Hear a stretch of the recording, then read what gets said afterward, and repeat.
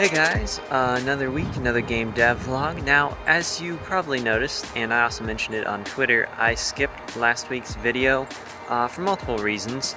Uh, one of the biggest ones being that I hadn't really gotten much done since the previous one, and also I was doing a lot of thinking that day, um, trying to figure out some things, um, rethinking some stuff to do with my current plans and all that. So as you've seen in my past couple videos, they've all been about trying to figure out all this stuff. And there were actually a couple of changes that were made over this week. Um, well, first of all, you may have noticed as well that my branding has changed, so if you see my channel icon, looks a little different. Um, also, if you're following me on Twitter, you'll notice that I tweeted out about a change of my site. So I basically, I reworked all that stuff, simplified it. My old website was a WordPress blog, and I kind of stopped posting on there other than posting these videos because these kind of took the place of what I was going to be doing with my blog. So I decided to just scrap that, do a new design that's really simple. It just kind of demonstrates showing my uh, current games and other projects, and I think it works a lot better for what I need right now. So, I, yeah, I reworked all that stuff. I actually, uh, the site and all the branding change went live yesterday. So, um, yeah. Anyway, enough about that. I also did a couple other things.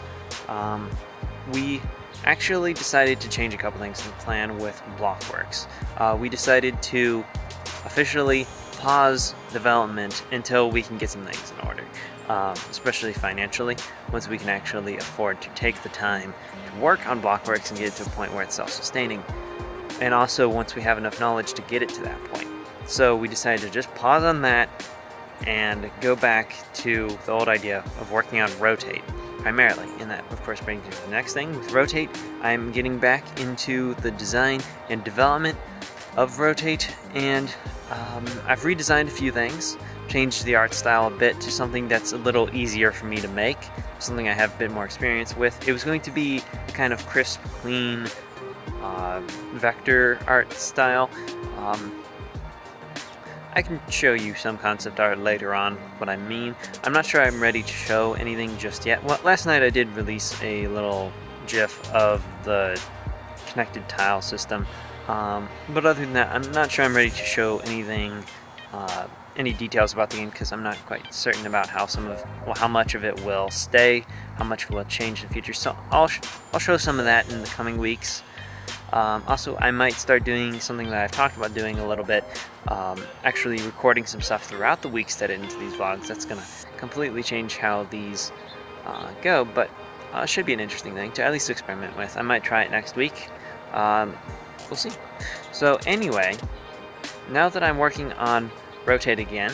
Uh, I'm starting back into development, uh, this time with the newest version of the Frost engine, because the original version of Rotate was on the very original version of the Frost engine. But yeah, this week is going to be largely about focusing as much time as I can afford to on Rotate, getting that, well, getting as much work done as I can this week. So I'd like to get uh, like the entirety of the world render system uh, up to par. It's actually getting pretty close already, uh, but there's still more to do. And I'd also like to get as much of the physics in as possible this week. Now, um, when I was talking about rotate, um, geez, when I first started uh, talking about it, uh, I did have some primitive like physics systems and such that were working all right, but they didn't have all the functionality I need. They couldn't support like ramps or stairs. Um, but in the new version I'm going to be trying to support all that because I'd really like to have those in the game. Um, but other than that, like I just want to focus on the simple stuff of like physics and such this week. Um, I'll do more concept art and design stuff. And uh, oh, also another thing, I came with a really good storyline for the game. Uh, something that's really interesting, that's for sure, and quite unique too. Um, well, it plays on some concepts that I've seen before, but in a totally different way. So, because beforehand I was kind of struggling with coming out with a full story and making it unique, especially. So, um, but the new one, it's very, very interesting. So, yeah, over these coming weeks, I'll be able to reveal a bit more about the game and all the work I'm doing on it. But for now, I think that is going to be it.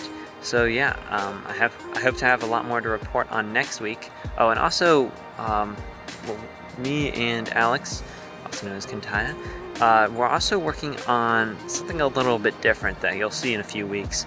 I'm again not going to really talk about it too much until it comes out. It's just yeah, it's something a little different than uh, anybody's seen of our work. So anyway, I think this is going to be it for today. So if you enjoyed the video, maybe learned something, uh, be sure to leave a like, maybe a comment, and definitely subscribe for more content from me in the near future. So yeah, I'll see you around. Goodbye.